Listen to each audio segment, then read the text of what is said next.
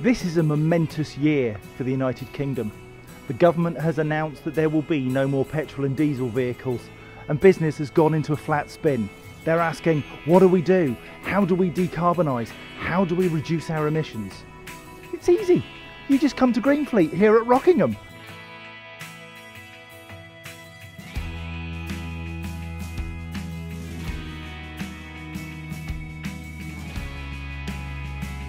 So at Greenfleet today we've got Nissan bringing their new Micra which is really really interesting low emission. We've got Mitsubishi with their very very successful plug-in hybrid. We've got Suzuki for the first time. Really good to see them. Looking forward to chatting to them.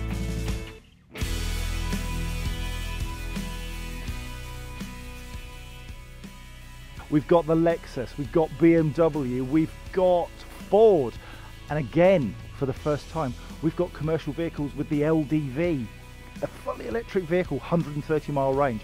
Brilliant to see them. We've got electric mopeds, electric mopeds. Can't wait to have a go of those.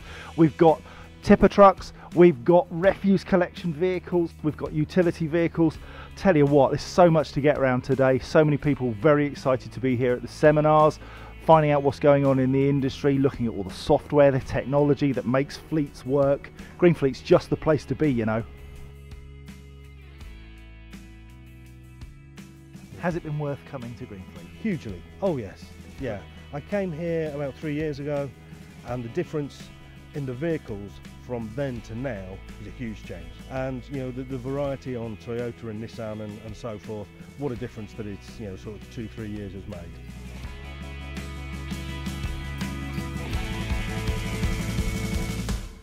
Why did you come to Greenfleet today? Um, primarily my role at Nottingham City Council is I deal a lot with the vehicle replacement programme. So that's why we're here, because it's got everything we need.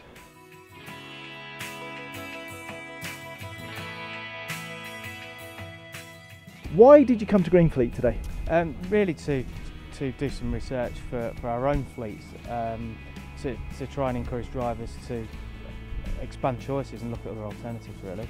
So we wanted to see really the newest technology. There's plenty here to choose from, so you've got the normal hybrids or, or plug-in hybrids or pure electric, so everything's here to see, yeah.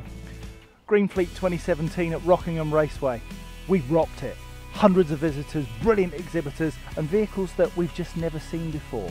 Stuff like low emission and electric refuse trucks, seven and a half ton trucks, commercial vans, little cars, big cars, fabulous cars. The one consistent thing is people get out of them and smile. They smile not only because they know they're doing the right thing, but just because driving's fun again.